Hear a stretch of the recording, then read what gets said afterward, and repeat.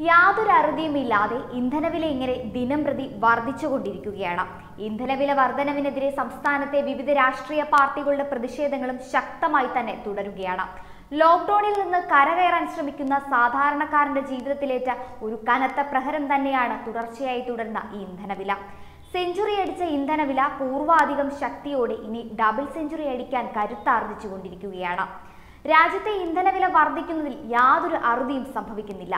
ദിനംപ്രതി ഇന്ധനവില കൂടുതൽ കൂടുതൽ കരുത്താർജിച്ച് വരികയാണ്.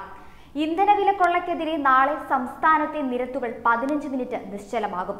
ട്രേഡ് യൂണിയനുകളുടെ സംയുക്ത സമരസമിതി ആഹ്വാനം ചെയ്ത ചക്രസമര സമരത്തിന്റെ ഭാഗമായി പകൽ പതിനൊന്ന് മുതൽ പതിനൊന്ന് പതിനഞ്ച് വരെ നിരത്തിലുള്ള മുഴുവൻ വാഹനങ്ങളും നിർത്തിയിട്ട് പ്രതിഷേധിക്കും.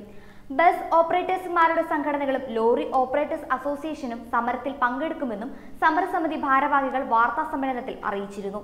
വാഹനങ്ങൾ എവിടെയാണോ അവിടെ നിർത്തിയിട്ടാണ് സമരം. സ്വകാര്യ ഇരുചക്ര വാഹനങ്ങൾ ഉൾപ്പെടെ പ്രതിഷേധത്തിന്റെ ഭാഗമാകും. ആംബുലൻസിന് യാത്രാ സൗകര്യം സമര വോളണ്ടിയർമാർ ഉറപ്പുവരുത്തും. പെട്രോൾ ഡീസൽ വിലവർധനവ് റോഡ് ട്രാൻസ്പോർട്ട് വ്യവസായത്തിന്റെ നട്ടൽ ഒടിച്ചതായി സംയുക്ത സമരസമിതി ഭാരവാഹികൾ പറഞ്ഞു.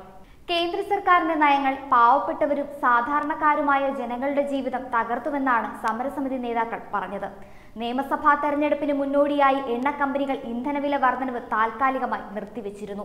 തെരഞ്ഞെടുപ്പ് ഫലം പുറത്തു വന്നതിന് പിന്നാലെയാണ് വില വീണ്ടും കൂട്ടാൻ തുടങ്ങിയത്.